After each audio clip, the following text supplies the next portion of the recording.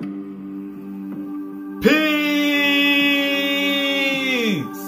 Peace. Peace. Shalom. Shalom. Shalom.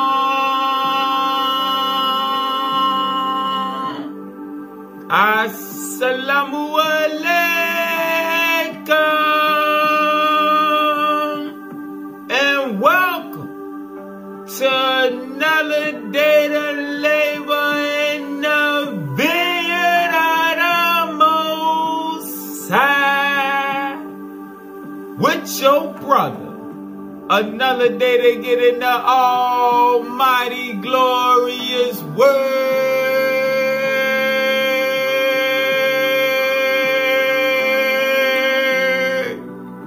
To see what the most I got to serve.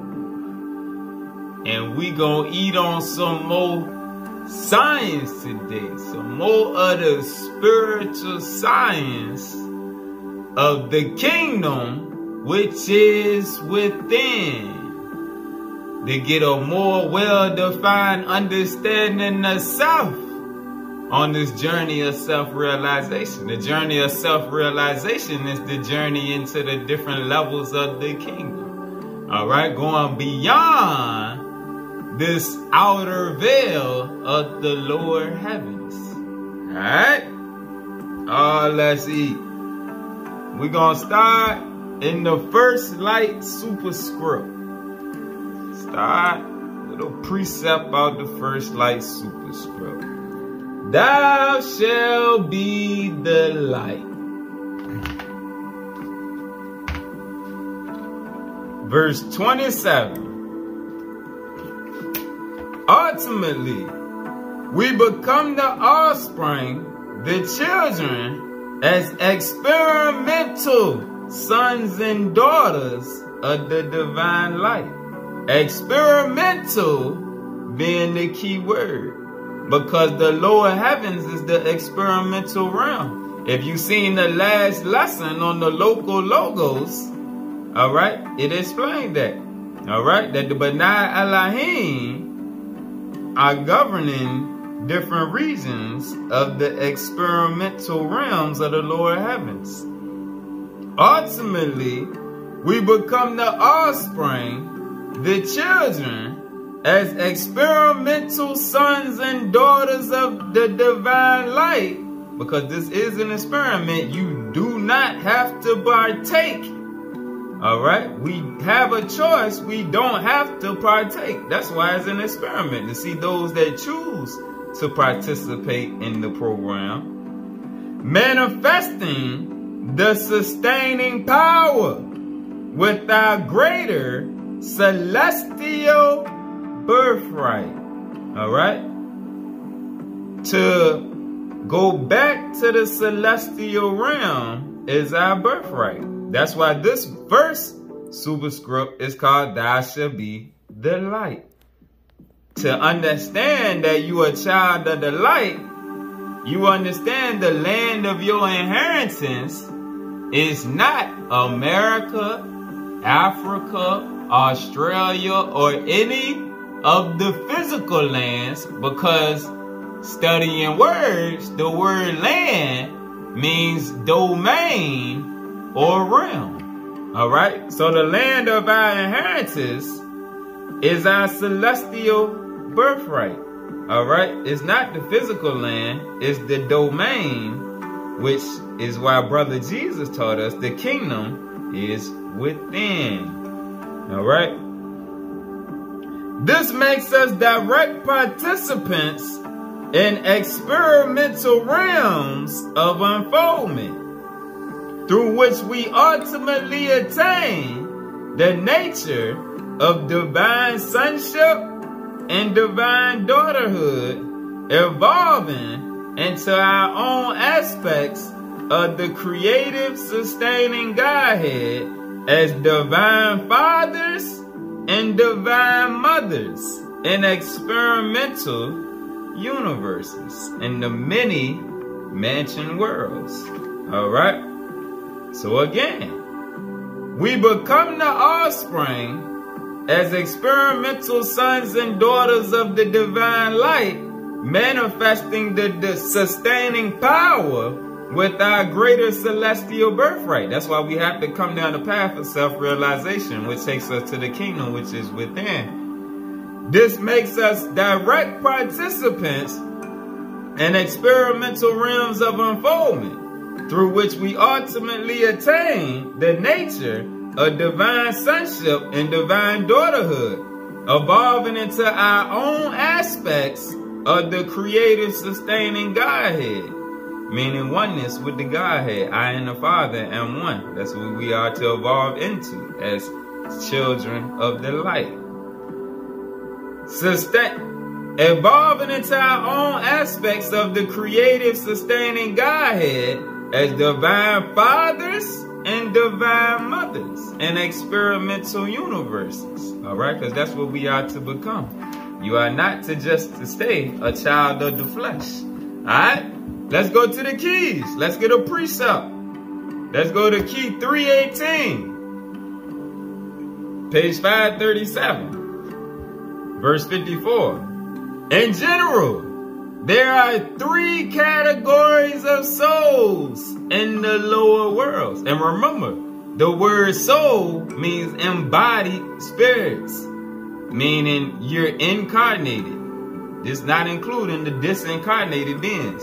Alright, so it's not talking about the Benai Elohim and all of those beings.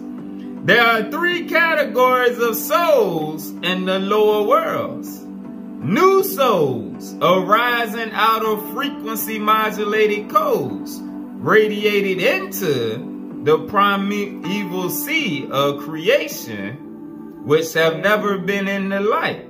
All right, so this is the first category. I mean, these are the souls like if you've seen the movie Soul with the eternal mothers preparing the new souls for their time of probation in the flesh, that's what it's speaking on. All right? Which in the sealed portion, it talk about the eternal mothers. All right? Giving birth to new souls. Just like it showed on the movie Soul. So when new sun universes, such as like when this earth was created, the, this is one category of the souls that was sent down here into the lower heavens. The new souls. All right. When this new experimental realm was created. All right. Secondly, we got souls synthesized out of the functions of light and darkness. All right. So this include those going through the cycle of death, birth, and rebirth, samsara's will. Those that cannot escape the wheel of rebirth because they never come to knowledge of self. All right? And if you study the keys, it teaches you that if you don't get it before this realm is transformed, then you get it in the next experimental realm that you will be sent to to start the journey again. All right. And the same thing with those on the other side of the veil that get sent down into the flesh. All right. Because they can either move upwards or go downwards also. All right. But that's why I say synthesize out of the functions of light and darkness. All right. So those are two categories of souls down here. And thirdly, you got the eternals. The souls of the firstborn of Yahweh who descend into the outer experimental regions of space as integrated life beacons of immortality. The latter are used according to Metatron, speaking on the third one, the Eternals, the firstborn souls, are used according to Metatron to bring the image of the Father for the upgrading of intelligence.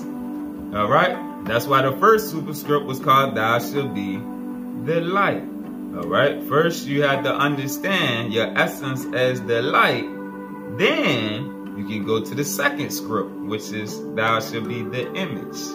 All right? But those are the three categories of soul.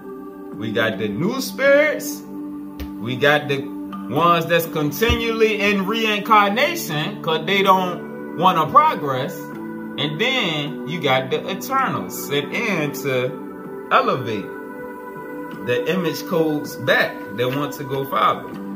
Now let's go to the sixth superscript. Thou should be the word, the living logos. Alright, so I'm going to start at verse 95. The solution to the conflicts is one of choice. That is, in our reality, conscious choices are critical for the evolution of life in this realm of duality. For this reason, the law and the word needed to be consciously known, needed to be consciously known in the local universe. Henceforth, the law of the Ten Commandments was revealed to Moses first as a light code. The Ten Commandments was revealed to Moses first as a light code. Let's get a precept. All right. So this is going off of the lesson we did last week on the DNA and the Ten Commandments. All right, let's go back to the keys. Page 563, verse 2. The Ten Commandments that Moses received are the true living energy codes. The Ten Commandments that Moshe received are the true living energy codes of the tree of life, transposed from the light projections of the I am that I am into the written word of wisdom. However, understand that they are not to be limited to that which has appeared in stone, for they are the light energies structuring and restructuring stone. Pause. So when it says the first stone, when it says, understand that they are not to be limited to that which has appeared in stone, the first time it says stone right here speaking on the stone tablets, all right? The Ten Commandments, the living energy codes, are not to be limited to that which has appeared in stone. For they are the light energies structuring and restructuring stone. All right, let's get a precept and see what this stone is. We're going to go to Ezekiel. Ezekiel. Chapter 11. All right, because this is speaking about the stone of your heart. That's why it says structuring and restructuring. Alright? Ezekiel chapter 11, starting at verse 19. And I will give them one heart, speaking on Zion, the remnant that returns. I will give them one heart, and I will put a new spirit within you. And I will take the stony heart, the heart of stone, the hard heart, the carnal worldly heart. I will take the stony heart out of their flesh and will give them a heart of flesh, that they may walk in my statutes and keep my ordinances and do them. And they shall be my people, and I will be their God. But as for them whose heart walketh after the heart of their detestable things and their abominations, meaning those whose heart is hard because it's after the things of the world, I will recompense their way upon their own heads, said the Lord God. All right? And that's also in Ezekiel chapter 36, 26 through 38. All right. So it's speaking about when it said right here, back to the superscript, the Ten Commandments as the living energy codes, they are the light energies structuring and restructuring stone, aka that hard heart, into a softened heart, giving to man the many wavelengths of light, the many the myriad wavelengths of light, the myriad levels of consciousness, so that he can penetrate all Verse 5. For their structure encompasses the physics of creation, evolving from singular rel relativity to collective relativity. For their structure encompasses the physics of creation, evolving from singular relativity to collective relativity, and shows the infinite meaning of the divine name as the vital network necessary to evolve the many worlds of the sun universes. These ten light emanations these 10 light energy codes, these living energy codes, the 10 commandments, the 10 superscripts, these 10 light emanations are the living link between the I am of the Father's eternal mind and the I am vehicle of life within every son and daughter who bears the image of the Adam Kadmon, speaking on the children of light, and is sealed unto eternal life through the spirit of the Shekinah, which is the presence of the Most High. Alright, let's go back to the sixth superscript.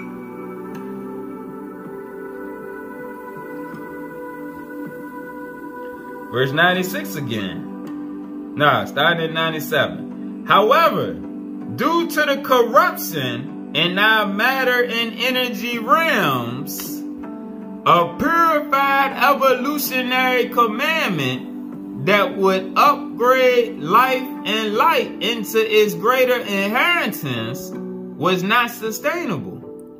All right, speaking on the time it was given to Moses. Thus, in order to allow the powers of the law and word to be realized, a second set of Ten Commandments was given of thou shalt not, thou shalt not steal, thou shalt not kill, thou shalt not covet, etc., etc., to help in humanity's choices. All right, so this was the process of upgrade. You had to first learn to govern your flesh before you can learn to govern your thoughts and your spirit man.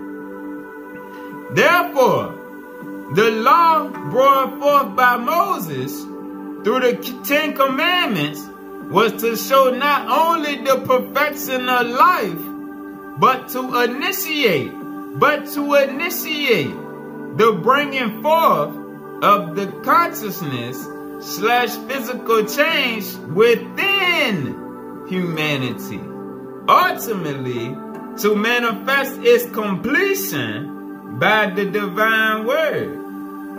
The living law originates from the living word. The living law originates from the living word as that which maintains the necessary agreements between the inner blueprint of the tree of life which is the Shekinah universe, and the material components of the universe. It is fundamental to understand that the law and the word as gospel are not simply the local law of nature, but the governance of life from the farthest reaches of universal space, hyperspace, and interdimensional space. Yet it reaches down to the dynamics of even the smallest microbial balance in our organic nature. The Word as Logos, the divine thought, is ongoing. All right? Because like we read, when we read about the definition of the Torah or, it's always more scriptures to take us higher and higher and to initiate us in the farther levels of light. Meaning we gain more of the word, becoming more of the living logos, gaining more divine thought and understanding and comprehension. The word as logos is ongoing, but its initial manifestation unfolds and sustains the law.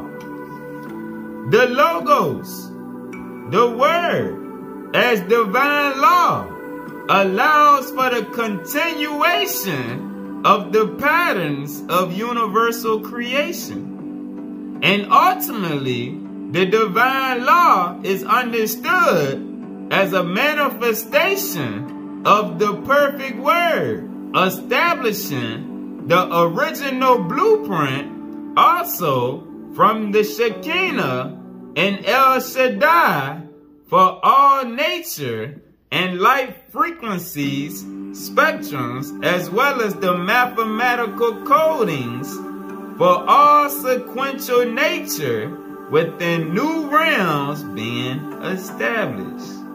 All right, so let's get a precept about what we just read right here about the original blueprint from the Shekinah and El Shaddai for all nature in the light frequencies and spectrums. Alright, let's go to back to the first superscript.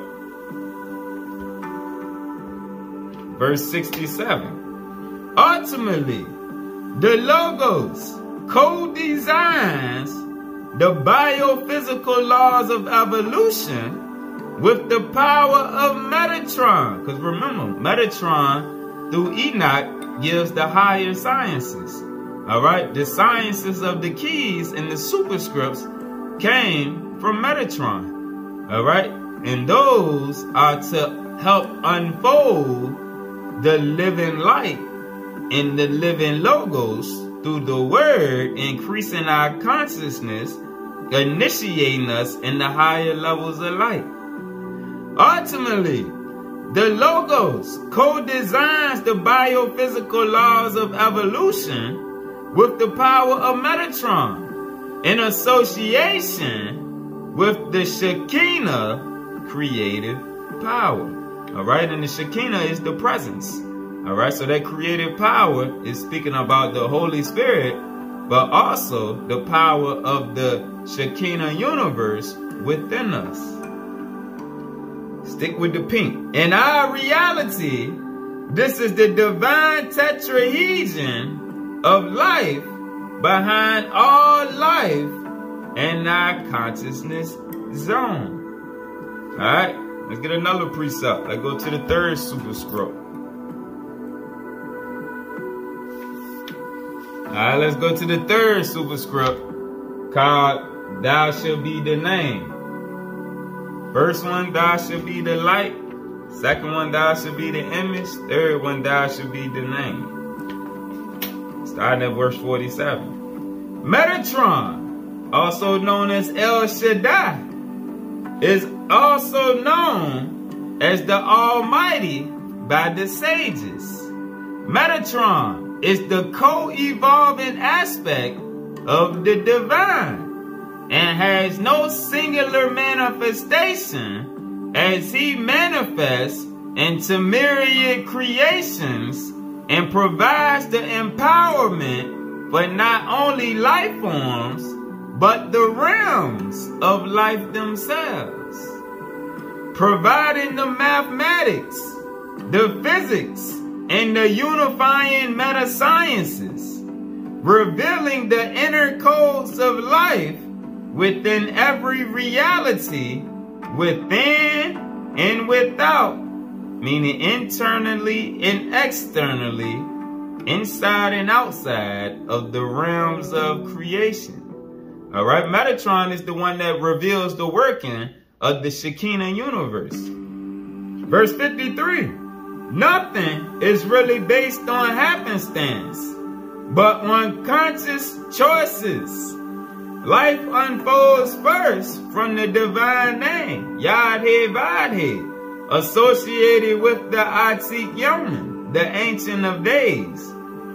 Then the patterns of thoughts, the patterns of thoughts and frequency vibrations, aka alignments, from the sacred names flow through the power of Elohim, who in conjunction with Metatron, El Shaddai, and the Shekinah, the mothering energy, carry forth their collective powers to establish various sun universes, the experimental realms.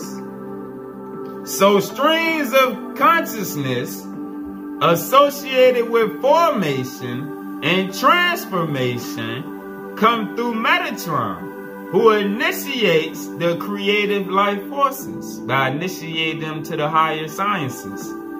On the highest levels of our sun universe, they become manifest as the Banai Elohim. All right, like we read about in the last lesson. You got righteous Banai Elohim, and you got those jokers that want to be like the unrighteous down here in the flesh.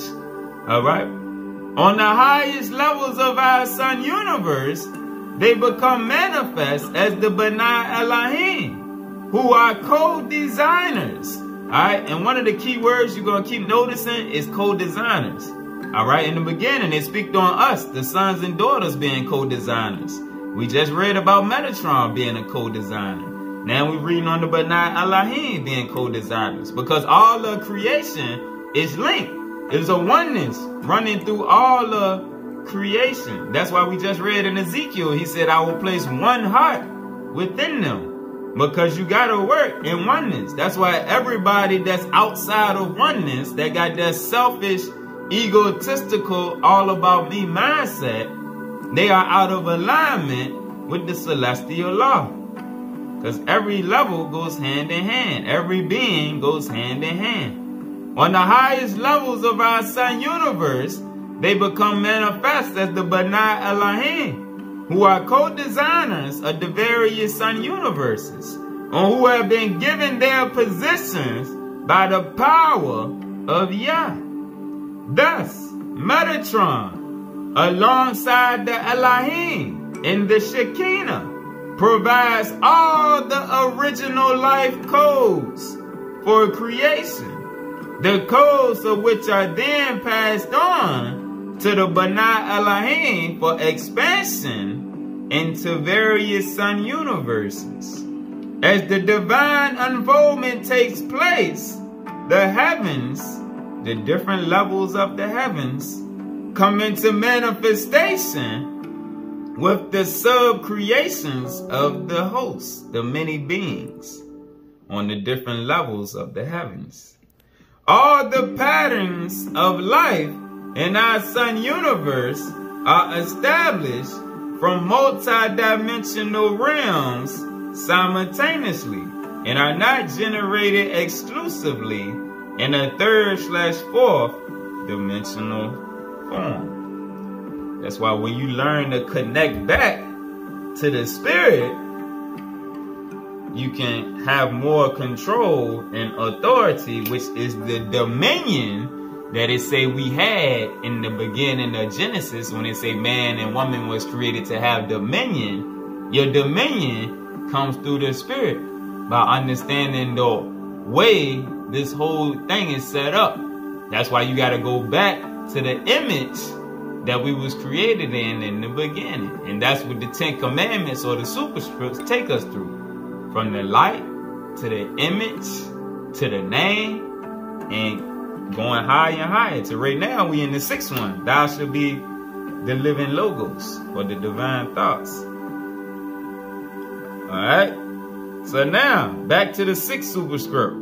Verse 104. Thus, in addition to initiating a program of the primal numerical slash mathematical codes also written within the higher law are the codings also written within the higher law are the codings necessary to restore and perfectly align through the logos the consciousness in the world of action or the realm of Assiah, which is the lower the lowest level of the heavens. All right, and that's where Yahshua as the logo and all of the other ones that was sent to elevate the consciousness levels. That was what they were sent to do, to realign us back with the higher law. All right, which means we had to expand our consciousness to be able to do that. All right, that's why those that believe that they don't have to read higher teachings, they in error. And that go back to the three different souls that's down here in the lower heavens that we read about in the beginning. If you don't want to go farther, that's fine. That's cool. If the land of your inheritance is America, Africa, or any of these continents, these physical lands, you still got a earthbound consciousness because you're still seeking things of the earth. You're not seeking your celestial birthright. So therefore, in your next incarnation, the only thing, the blessing that you're going to receive is earthbound because that's where your consciousness at. But it's, it's no harm, no foul. There's nothing wrong with that because you got to grow from that. All right. That's why it's no problem. Everybody coming back in some way or form is just you either crossing over to the other side, but life is an ongoing process. But if you want to come back to the earth and be in a time of your blessing like the Old Testament when the Israelites was in control of the world, that's what your heart is set on, thy will be done on earth as it is in heaven. All right, that's your right. If that's what you want, that's cool. All right. But eventually, as you keep going and stay in the word, you're going to realize that it's higher and higher levels, and then you'll go back to chasing your celestial birthright. Alright? Thus, in addition to initiating a program of the primal numerical mathematical codes, also written within the higher law, are the codings necessary to restore and perfectly align through the logos, the consciousness in action the law thus establishes the parameters to renew the interaction of light. The law thus establishes the parameters to renew the interaction of light, image, name, kingdom, and family. All right? Not the physical fleshly family because everybody in your fleshly family is not your true celestial family. That's why we all spread out and the gathering is through the four corners. Corners. The law thus establishes the parameters to renew the interaction of light, image, name, kingdom, and family for the connection of life back into greater divine existence. They get a precept out the keys.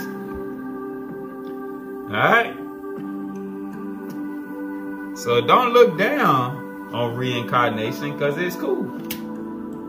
Some people that's transitioning now that understood the word and was loyal to the word, they're going to get incarnated back and some of those spiritual seeds that's allowed to come back into the earth. All right, during the transitioning phase. All right. So even if you don't understand or grasp all this right now, that's cool. Keep going to get what you can get, and you might just get incarnated back after this system then fail, and you'll be incarnated into a world without the wicked, to where you can just focus on your growth. Because like it said in the keys, The Elohim and the Lords of light are coming here to set up academies of light. All right. Uh, let's go to the keys, page 457. Starting at verse 26. The recorder cell provides the information for pattern formation in the composition of life. Verse 13. As the seed forms approach the area where they are to be seeded, they are guided by the recorder cell, which is the governing mechanism in the formation of each world. All right, so the recorder cell is a memory tank. Let's get the definition. All right, and this is where the term Akashic records come from. Recorder cell, the system for storing thought forms by higher thinkers because only higher thinkers are able to access this system, which is the recorder cell. All right, the recorder cell helps unfold life, but also is deeper levels of it that higher thinkers can tap into. The recorder cell is the system for storing thought forms by higher thinkers, a hierarchy of knowledge. Through this system of elements, powers, matrices, etc., thoughts can be sufficiently combined in the materialization of energy. Thoughts can be sufficiently combined in the materialization, meaning to bring it forth into this realm, the materialization of energy, which thoughts are energy allowing for orderly guidance of the thought forms in the construction of reality.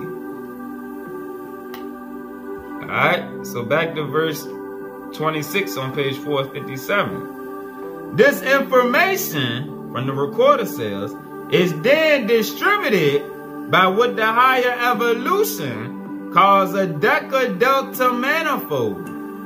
This deca delta manifold is a form of energy flow established by a heat or light envelope that was produced by the image patterns of the throne through 10 light superscripts.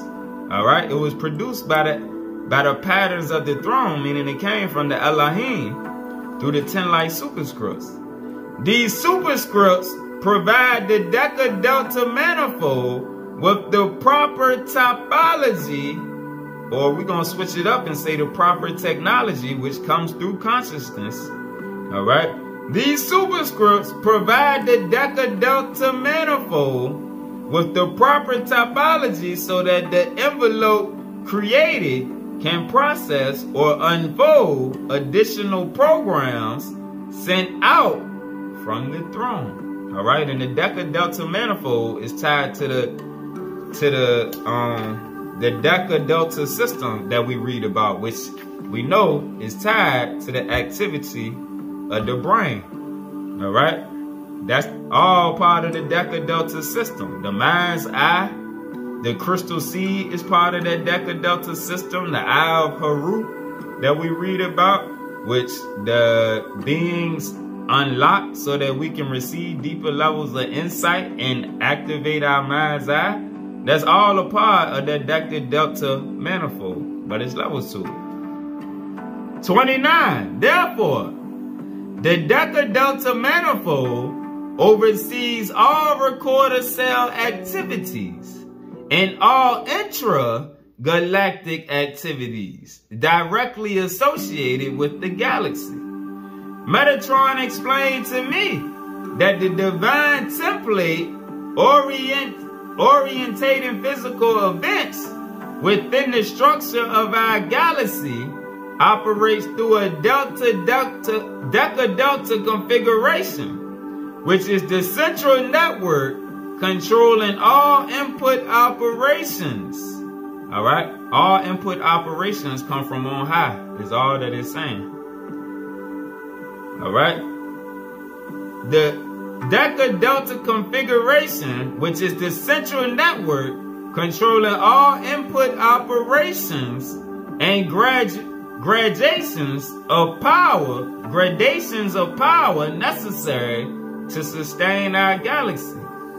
The Deca-Delta manifold means that there are 10 space-time singularities of light interconnected with a pyramidal core memory, it's the recorder cell, storing the event functions operating within all dimensions of a galaxy. And remember, dimensions is based on consciousness, like it teaches us in the superscript. For example, the Deca-Delta manifold is involved with the self-correcting regulations of recorder cells filter mechanisms of identification going from recorder program to recorder program, meaning elevating from one level to the next.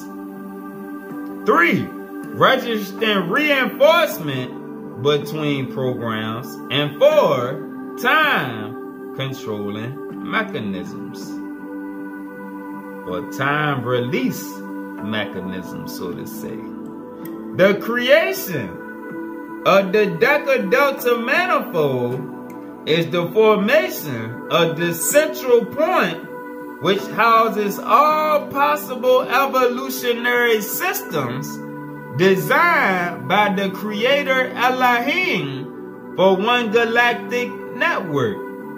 Through the Deca-Delta manifold, it is possible to evolve the various branches of star populations working with hands on a galactic clock set in motion. All right, through the Deca-Delta manifold. All right, because the Deca-Delta is not only tied to us. All right, because remember, everything in creation is tied together. And being that it comes from the Elohim, it also is tied to the Banah. Elohim. All right, through the Deca-Delta manifold, it is possible to evolve the various branches of star populations, working like hands on a galactic clock set in motion. Now let's go back to verse 1 and 2. All right. I pause. Let, let's let's verse 8 right quick to show that we didn't show this many times, but the Deca-Delta system, the manifold this is the way that the entities can speak to us in the flesh, but they're also bound together also. Right, verse 8 says, Through this divine word, the Elohim creators connect the perceptual apparatus apparatus of the brain, which is the, part of the Deca-Delta system, and give it a memory. The recorder cell, which contains the directions for the universal language processes. The language process controls pattern formation or pattern growth, namely where we are within the greater memory.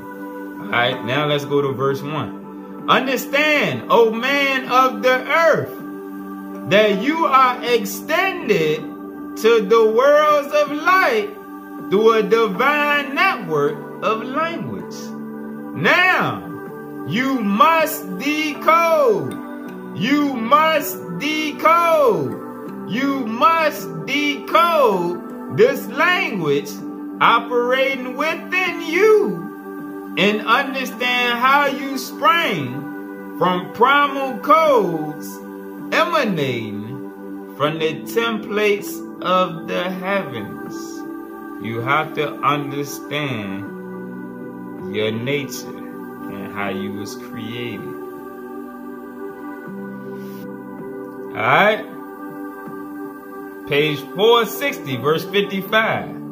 The superscripts are the activity of the divine mind, coding the primary diagrammatic teachings into the Deca-Delta manifold. They are placed there by the divine mind so that all hypersynchronized creations within the galaxy have a divine Deca-Delta model to follow. which corresponds to each successive state of creation. Therefore, divine creation begins not with the galactic Deca Delta model, but from the divine names, which not only unfold programs of Elohistic creative power, but emanate 10 light superscripts, which are composed of trinitized Deca Delta patterns, bringing forth the strength, meaning the power and beauty or radiance of Yahweh. This allows each Deca Delta manifold to represent the almighty power of the Father and the supreme ordering of creation. On every level, on every level of being unfolded from the Deca Delta system. Alright, back to the sixth superscript verse 105. In this way, the six light picture superscript as the living word is also able to continually program local matter as well as local non-matter reality spectrums by means of the logos. All right, because our, as our consciousness increase, we learn we alter the reality spectrum which ties to our consciousness time zone by means of the logos which is the divine thoughts all right as our thoughts alter our consciousness we elevate beyond like we seen in the last lesson the local logos into a new consciousness time zone. All right. And as we continue to increase, we move farther up the ladder. All right. In this way, the six light picture superscript as the living word is also able to continually program local matter, meaning program us in the flesh, as well as local non-matter reality spectrums by means of the logos. The purpose of this process is to create and establish a positive light frequency band that can recombine through particular vibrational color patterns of divine thought to provide a higher purity of love and wisdom, creating specific activities that will stabilize the consciousness thought forms so they can align and coordinate with the divine light of the Most High. Alright, because remember, like we read in Ezekiel, Zion is a people of one heart. Alright, so you have to align through your consciousness. All right. And that's what all of these superscripts and the keys do. It put us to where we no longer following the precepts and commandments of men. And I think this and I think that, or I believe this and I believe that. Nah. The keys and the superscripts is telling you what it is. You you you don't have to guess and be like, well, I don't believe this and I don't believe that, or I think this and I think, nah, it's, it's telling us, it's aligning us. Because these teachings is sent from Metatron through Enoch, described, to encode our consciousness so that we be on one accord. All right, and like I said right here, that will stabilize the consciousness thought forms so they can align and coordinate with the divine light of the Most High. The law of the living light organizes atomic structures which are made up of vibrational atomic frequencies of life connected with color frequencies, mainly beyond the visible spectrum. As well as superluminal forms of life and consciousness that work to reconnect our image with the Adam Kadmon. All right? As well as superluminal forms of life. Speaking on the higher evolution. That work to reconnect our image. Because we are, that's and that's part of the oneness.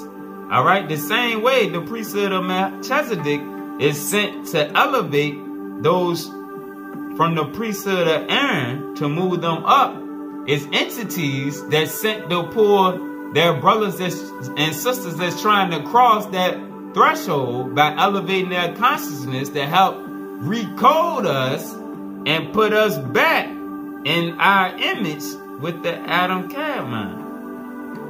The very structure of creation is to show that the soul inhabits a greater unfoldment of life and is not to become more and more entrapped into this material realm because that's bondage. But is to see itself within the larger cosmos as the soul aligns with this overself, its divine double, and ultimately is Christed over itself. Alright? So hopefully, I know this was a lot of science. And it gonna stretch your mind. Cause when I put the lesson together, made my head hurt a little bit. Alright? So it stretched them thoughts. It stretched my mind. I like when I read something to make my head hurt. I, I just sit down and think. That means it's stretching them muscles up there in that mind so we can process things a little more. And the whole thing, the ones that just want to listen, that ain't ordering the books, that you just listening, it's going to be hard for you to really process as we keep going farther and farther. And that's what I, that, that what I realize. As we keep going farther in these superscripts and the keys, the ones that don't got and not trying to get the superscripts and the keys, we're going to start to get disconnected because it's going to take a level of study on your own to process this information. You ain't going to be able to receive it all just from listening to the lessons. But it's just a little something, something to eat on so we can keep growing and flowing, moving and grooving to the next level. Alright? Peace.